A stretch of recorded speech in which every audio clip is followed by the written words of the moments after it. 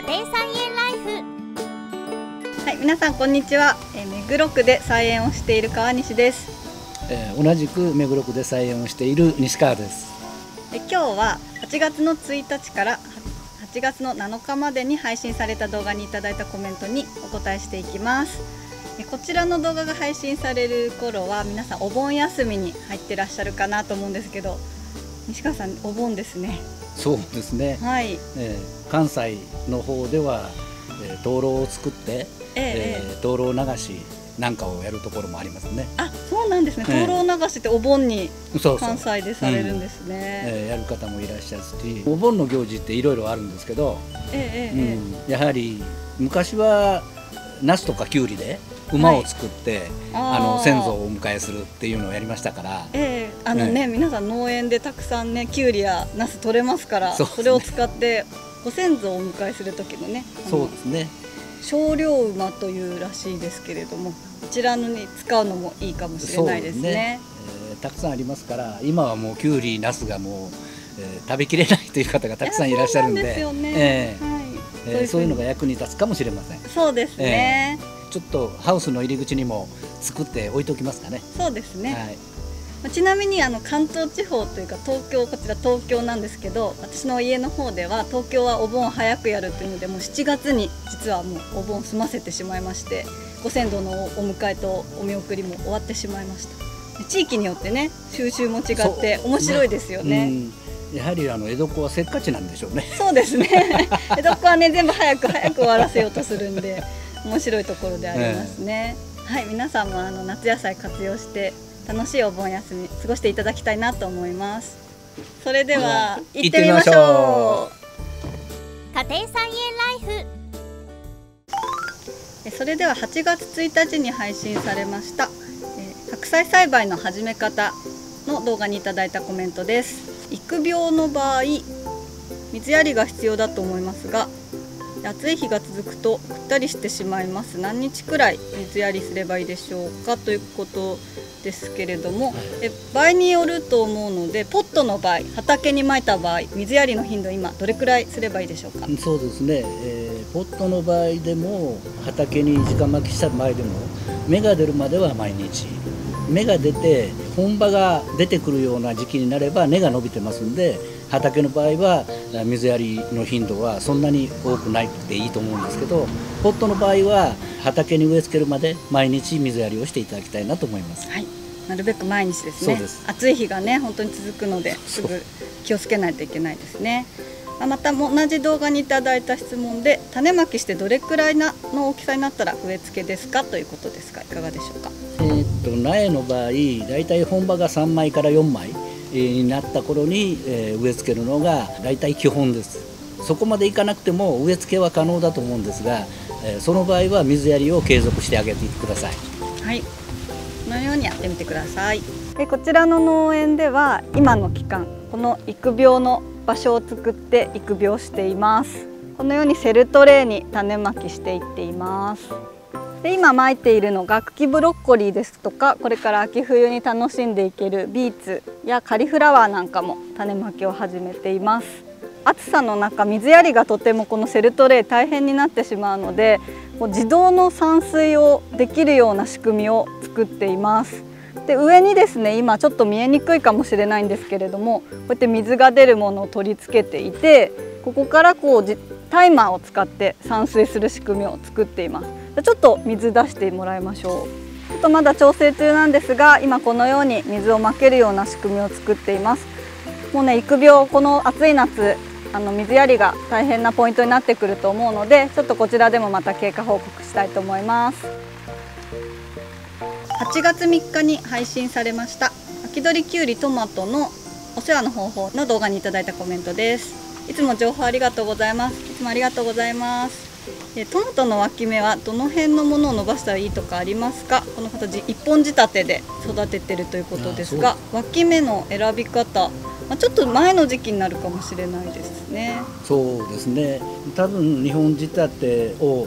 意図されてるんだと思うんですけど、えー、日本仕立てにする場合は一番花房一番目に出た花房のすぐ下の脇芽これを使って2本にしていくというのが基本なのでこの時期では上の方しか残ってないというんだったら 今頃から2本仕立てにしてもあまり意味はないと思うんで、え、来年チャレンジされる時は第一花房の直下の脇芽を伸ばすようにしてください。はい私もまだ畑2年目なので脇芽結構後からでも間に合うんじゃないかなと思っていろんな株見てきたんですけれどもやはりしっかりそのセオリー通りの第一花法の下のあの脇芽を伸ばしたものでないと上の方の実がね小さくなってしまったりとか、ね、全然状況違いましたのでぜひあの違いを楽しんでいただく意味でも来年ちょっと頑張っていただけたらなと思います。それではトマトの日本仕立ての実例ですけれどもこちらが基本通りにやられてるということですもうトマトはほとんど収穫が終わってるので撤収の時期ですがこちらを見ていただくとこれが種の幹伸びてきてこの脇芽を伸ばして2本にしていただいてる。脇芽の位置は第一花房もう収穫終わってますけれども第一花房のすぐ直下の脇芽これを伸ばしてやっていってる。上の方でやりますともうすでに下の花房がどんどんどんどん栄養を取っていくので脇芽の方でうまく実がついてこないというふうになりますからこの部分で分けるのが一番正しいやり方になります。続いて8月4日に配信しましたさつまいもの病害虫対策の動画にいただいたコメントです。えヨトウムシだけでなく背筋スズメはどのように対策すればよいでしょうか？ということです。いかがでしょうか？えーと、同じようなあの種類、えー、どちらもガの幼虫なので対策として自然農薬でやるんだったらやはり唐辛子焼酎液が一番適当ではないでしょうか、はい、あとは木サックスの薄めたもの、えー、たださつまいもの場合 広い面積なので手押しのスプレーではちょっと無理かもしれませんね。かなり広く、えー、かなり広くなりますので、ね、あのホームセンターなんかで売っている、えー、手押し式のポンプ、えーおそらく1000円以内で売ってると思うんで、はい、そういうのを使われて全体に噴霧したら効果が上がると思います。はい。それでは続いて同じ動画へのコメントいただいてます害虫ヨトウムシコガネムシが大量に発生してしまったという方ですね。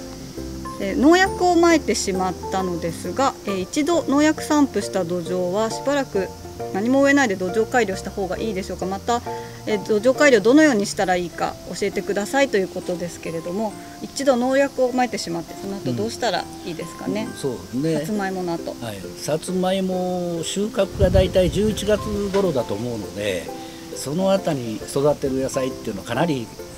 範囲が限られるので少し早いですけど天地返しされるのが一番いいんじゃないでしょうか。あなるほど、ええはい、えー、そうすればあの表土にある農薬があの下に入りますからある程度中和されるんじゃないかなと思うんですね。天地返しが大変だということであれば緑肥なんかをまいてで緑肥に吸収させるというのが必要だと思いますね。はい、ええ、野菜を育てると野菜が農薬を吸収するんでやはりそれはそれで嫌でしょうから。はい、はい。まあ、一度その農薬をきれいにするために植えるっていうやり方をするといい、ということですね。ただまあ時期的にも天地返しっていうのが一番、うん、それが一番効果的だと思います。ね。えー、少し長い期間になりますけども、はい、えー、っと天地返し10、まあ、11月の終わりにえー、さつまいも収穫すれば12月1月2か月ぐらい天地返しをしておいて2月になれば葉野菜を育てられるので、はい、そういう形で進められたらいいと思います。はい。ぜひ。天地返しやってみてください、え、続いて8月6日に配信されました大根の土作りの動画にいただいたコメントです。埼玉県に住んでいます。スタートはいつくらいがいいでしょうか。6月に植えた大根のプランターは枯れてしまいましたということです。川さんいかがでしょうか？そうですね。あの大根はだいたい8月の終わりから9月の初め種まきをしてやると。暑い日が続くとやはり枯れてしまいますので8月の終わりが、まあ、一番早いスタートになると思うんですね。うん、暑いですからね、そうそうそう、ね、暑いんでなかなか野菜が育ちにくい。もし可能性としてはかなり遮光をするつまり寒冷車やいろいろなもので遮光をして風通しも良くしてあまり温度が上がらないようにすれば、えー、枯らさずに育てることも可能かと思いますけど、まあ、私自身は試したことがないのでやはり8月の終わりぐらいから巻いていただくのがいいと思います。はい、はい、まあ、天候のことはねなかなか読めないので今年は9月まで暑いなんていう話もありますからね。ね、どうしても。ただ大根はあまり遅らせるとちょっと難しくなっていきますので、ね、ちょっと早め判断で、まあ、失敗したらねもう一回やるくらいの気持ちでやってみてもいいかもしれないですね。すね。はい、ぜひ頑張ってみてください。